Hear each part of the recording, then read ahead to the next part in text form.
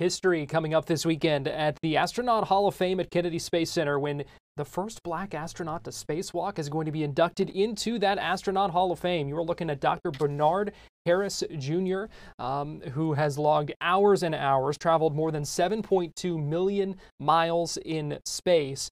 And uh, joining us uh, live now via Zoom is Dr. Bernard Harris Jr. And Dr. Harris, we really appreciate you joining us this morning here on Fox 35 News Plus. Good morning, Garrett. How are you? I'm doing fine, thank you. And I, I appreciate you joining us. I, am really excited to talk with you. I first want to get your thoughts. We showed a couple of those uh, those photographs. When you look back at that, what uh, what comes to mind? Oh wow! It brings back the the early training and preparation for the the missions, and then also the mission itself. I think one of those photos showed uh, of me in an EVA suit, extravehicular activity suit. That's a spacewalk suit. And boy, does that bring back memories. I, I would imagine so. So, uh, talk to us about how you became inspired, first of all, to be an astronaut. Well, I've been fascinated with science and science fiction since I was a kid. And when I was 13 years old in 1969, I know it, that means I'm old, I saw Neil Armstrong and Buzz Aldrin land on the moon, and I was hooked. I wanted to follow in their footsteps. And so, talk to us a little bit about your career. Um, 438 hours, tra- traveled more than 7.2 million miles in space. That's a lot, Dr. Harris. It, it is at the time, but it pales in comparison to what the guys are doing, guys and gals are doing now on the International Space Station. But uh, I had to decide when I went to college what major I would go into that would allow me to apply to the astronaut corps. And I decided to become a medical doctor because I found out that there were medical doctors that were going to be needed for space flight, especially for long duration space flight, what we're doing now.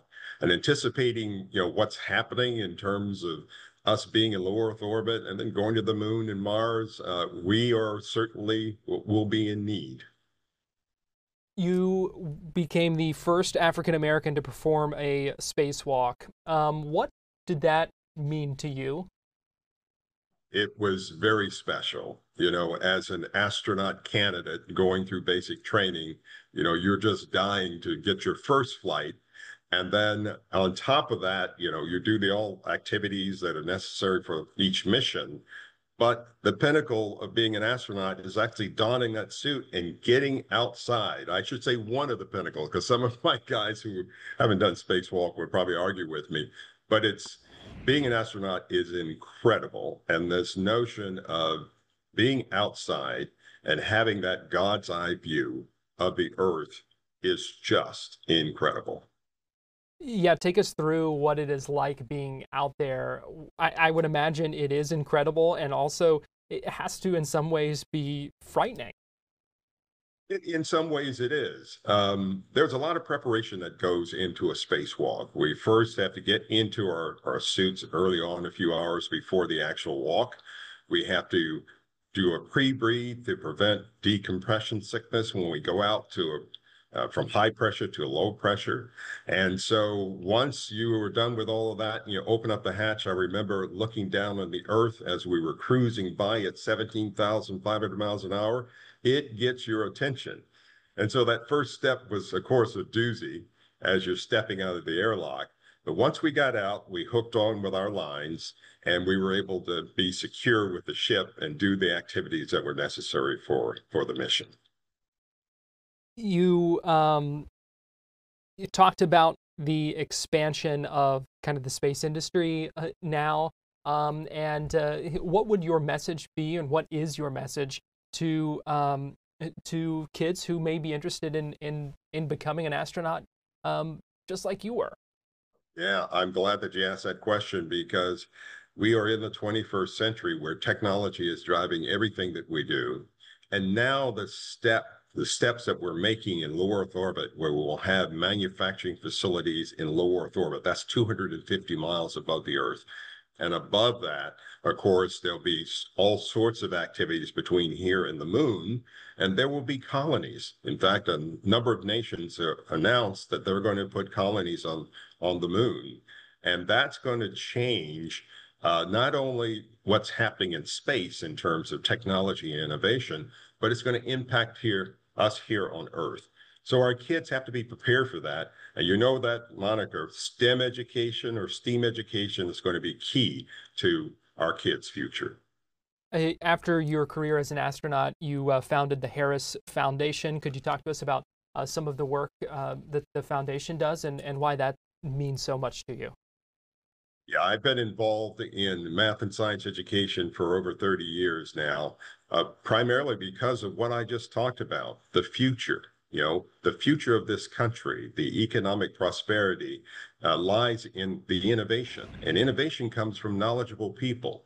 So we have spent, you know, over 30 years having programs all over the nation, including Florida, where we had the uh, summer science camp, Bernard Harris Summer Science Camp there for middle school kids.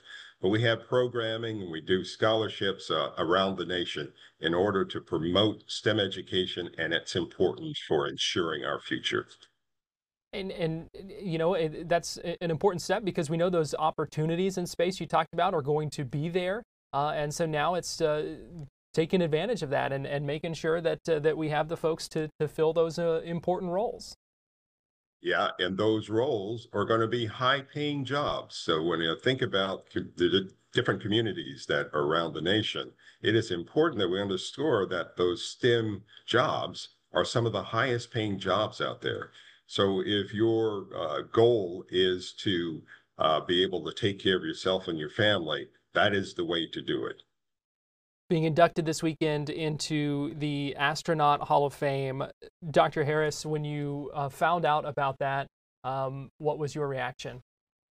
I, I was very excited.